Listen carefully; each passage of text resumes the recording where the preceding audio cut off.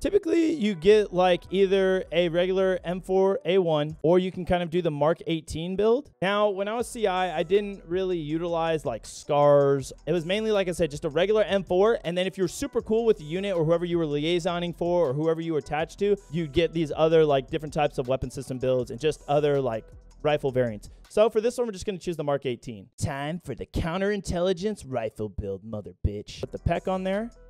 Tan PEQ, as always. Bam. Mainly just rocked an EOTech or an ACOG. Like I said, I'm not really the biggest fan of ACOGs, though. Let's go and do the underbarrel. We're to go ahead and put a vertical grip on there. Uh, so hot. Love it. Mm,